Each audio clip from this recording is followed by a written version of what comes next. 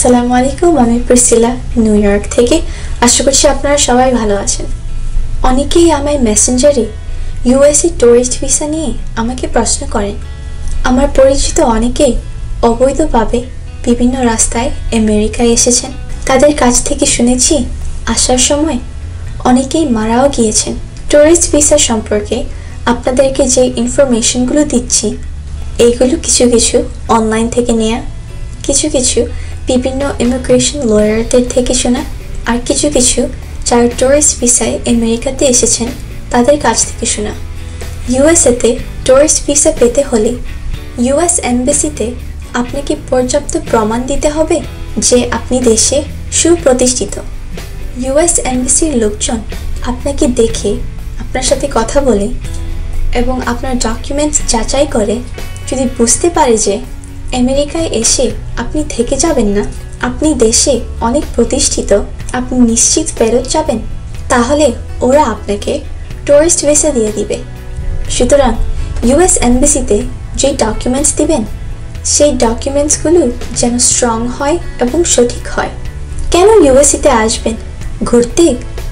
আপনি যে ঘুরতে পছন্দ করেন, তার প্রমাণ আপনার পাসপোর্টে থাকতে হবে। তাই অবশ্যই ইউএসএতে ভিসার জন্য আবেদনের পূর্বে ভালো কিছু দেশ ভ্রমণ করে নেবেন। যারা ব্যবসায়িক কাজে ইউএসএতে আসতে চান, আপনি যদি প্রকৃত ব্যবসায়ী হয়ে থাকেন, তাহলে ইউএসএতে যাদের সাথে আপনাদের ব্যবসায়িক সম্পর্ক, তাদের কাছ থেকে ইনভিটেশন লেটার নিয়ে অ্যাপ্লিকেশনের সাথে জমা দিবেন। যে কোম্পানি আপনাদেরকে ইনভিটেশন দিবে, ওরা যদি এস্টাবলিশড কোম্পানি হয়, ওরা যদি ওয়েল নোন কোম্পানি হয় এবং ইউএসএতে যদি ওদের রেকর্ড ভালো থাকে, আপনার ভিসা পাওয়া নিশ্চিত। আপনি যদি ডাক্তার ইঞ্জিনিয়ার বা অন্য কোনো প্রফেশনাল হন ইউএসএতে অনেক বিষয়ের অনেক ইন্টারন্যাশনাল সেমিনার হয়। আপনি আপনার প্রফেশন রিলেটেড যে কোনো সেমিনারে রেজিস্ট্রেশন করে তারপর ইউএস ভিসার জন্য অ্যাপ্লাই করতে পারেন। এতে আপনার ভিসা পেতে সহজ হতে পারে। তবে এক্ষেত্রে একটা জিনিস খেয়াল রাখতে হবে।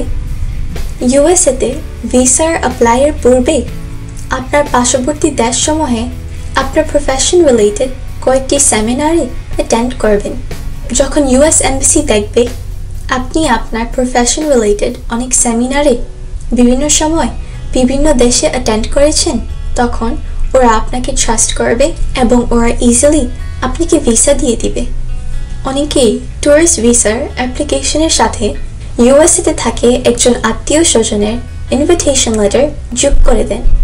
মনে রাখবেন, আপনি যে আত্মীয় স্বজনের লেটার অ্যাপ্লিকেশনের সাথে জমা দিবেন, উনি যদি ইউএসএতে প্রতিষ্ঠিত না হয়ে থাকে, তাহলে এই লেটারটা আপনার ভিসা না পেতে সাহায্য করবে। সবসময় ইনভিটেশন লেটারের ক্ষেত্রে যেসব প্রতিষ্ঠান ওয়েল নোন ওইসব প্রতিষ্ঠান থেকে ইনভিটেশন লেটার সংগ্রহ করে অ্যাটাচ করতে চেষ্টা করবেন। যেদিন আপনাদের ভিসা ইন্টারভিউ হবে, নির্ভয়ে ইন্টারভিউ দিতে যাবেন। ভিসা হোক বা না হোক, এ নিয়ে আতঙ্কিত থাকবেন না। কোনো ধরনের ভয়ভীতি ছাড়া প্রশ্নের উত্তর দিবেন। প্রশ্নের উত্তর দ্রুত দেওয়ার চেষ্টা করবেন। কোনো প্রশ্নের উত্তর দিতে অনেক সময় নিলে ওরা আপনার উত্তরটা ট্রাস্ট করবে না। ইন্টারভিউতে আপনি যা বলছেন, সত্যি বলার চেষ্টা করবেন। প্রতিটা প্রশ্নে যা বলছেন, মনে রাখার চেষ্টা করবেন। যেমন আমার এক আঙ্কেলকে ভিসা ইন্টারভিউতে ইন্টারভিউ অফিসার প্রশ্ন করেছিলেন, আপনার ফ্যাক্টরিতে টোটাল এমপ্লয়ি কতজন আছে? প্রশ্নের উত্তরে আঙ্কেল বলেছিলেন টু থাউজেন্ড ওনার ইন্টারভিউ খুব ভালো হয়েছিল। Interview officer satisfied. Interview officer last কোয়েশ্চেনে first কোয়েশ্চেনটা আবার রিপিট করেছিলেন।